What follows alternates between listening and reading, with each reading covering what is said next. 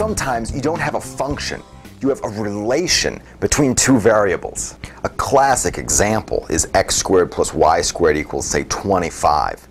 The graph of the points in the plane that satisfy this equation is a circle, but that's not the graph of a function, right? This graph fails the vertical line test. For a given input value, say 4 in this case, there's multiple y values which satisfy this equation.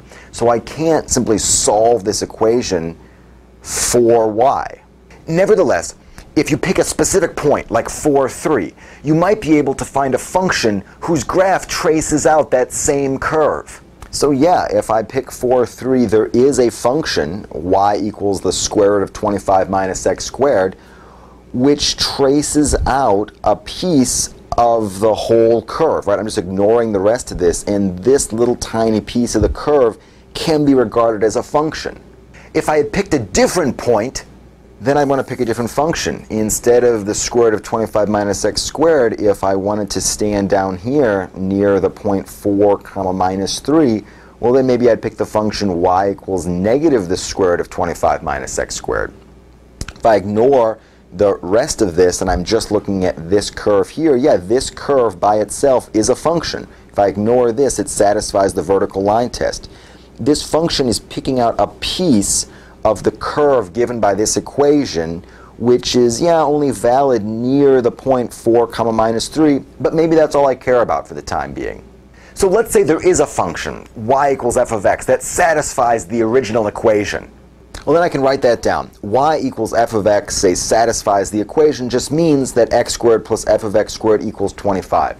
Now, I'm not saying that this gives me all of the solutions, right? The graph x squared plus y squared equals 25 is a circle, fails the vertical line test. There's no function that gives me all those outputs because there's multiple outputs for a given input. All I'm saying is that I've got some function which traces out a piece of the whole curve then I can differentiate. So if this is true for a bunch of values of x, then I can differentiate this. The derivative of this sum is the sum of the derivatives, so the derivative of x squared is 2x plus the derivative of f of x squared. I'm going to use a chain rule to do that. It's the derivative of the outside function at the inside times the derivative of the inside function equals the derivative of 25, which is 0. Now I can solve. So I'll subtract 2x from both sides, and I'm left with 2 times f of x times f prime of x equals negative 2x. And then I'll divide both sides by 2 times f of x, and I'll find that f prime of x is minus 2x over 2f of x. And I could cancel those 2's and just get minus x over f of x. It seems like a funny situation. The derivative depends on more than just x it also has an f of x in it. Another way to say it is that the slope of the tangent line, dy dx, is negative x over y, right? y is f of x. And it does really seem a little bit off-putting initially in these kinds of calculations that the slope of the tangent line depends on more than just x. It's negative x over y for this particular case. But think back to the picture for this case, right? The picture is a circle and what I'm saying is the slope of the tangent line is negative x over y. So if you pick that point, say 4, 3, and you ask what's the slope of the tangent line to the circle at the point 4,3, this equation is telling you the slope is negative 4 thirds. And yeah, that line is going down. The slope's negative. What's the slope of the tangent line to the curve at the point 4, negative 3?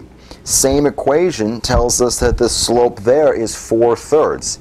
And yeah, this, this line's going up the slope of the tangent line is depending on more than just the x-coordinate. Right? You need to also know the y-coordinate in order to know exactly what function you're actually looking at near that point. And that totally affects the slope of the tangent line.